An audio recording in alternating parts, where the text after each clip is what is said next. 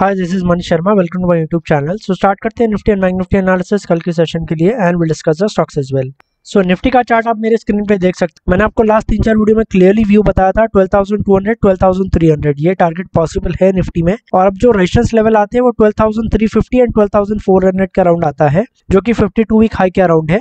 सो so, 12,350 12,400 ये एक important level होगा।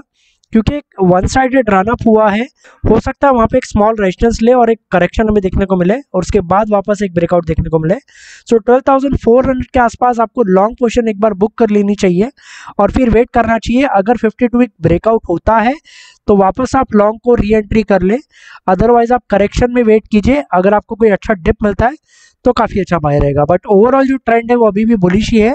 यहाँ से मुझे लगता है 12,400 तक के लेवल्स हमें देखने को मिल सकते हैं। बैंक निफ्टी में 27,000 27,200 ये लेवल्स हम लोग एक्सपेक्ट कर सकते हैं क्योंकि काफ़ी अच्छा मोमेंटम है और का, और काफ़ी स्ट्रॉन्ग है बैंक निफ्टी ट्वेंटी तक के टारगेट के लिए आप ट्रेड कर सकते हो। कोई भी इंट्रा डिप मिलता है काफ़ी अच्छा बाय रहेगा ट्वेंटी एंड ट्वेंटी तक के टारगेट के लिए। अब डिस्कस करते हैं स्टॉक्स सबसे पहला स्टॉक होगा सीमेंस सेल सीमेंस का स्ट्रक्चर मुझे काफ़ी नेगेटिव लग रहा है, क्योंकि अगर आप देखो, ये काफ़ी अच्छे अप ट्रेंड में है और यहाँ पे एक इवनिंग स्टार पैटर्न बनाया है इसने।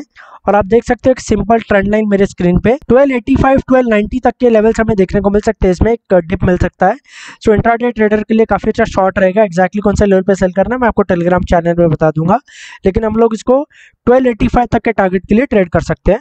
नेक्स्ट स्टॉक होगा Kotak bank buy Kotak bank में मोमेंटम अभी भी काफ़ी ज़्यादा स्ट्रॉन्ग है और मुझे लगता है ये 1750 1800 तक के लेवल्स टेस्ट कर सकता है। यहाँ से और 40-50 रुपए का आपको हमें देखने को मिल सकता है।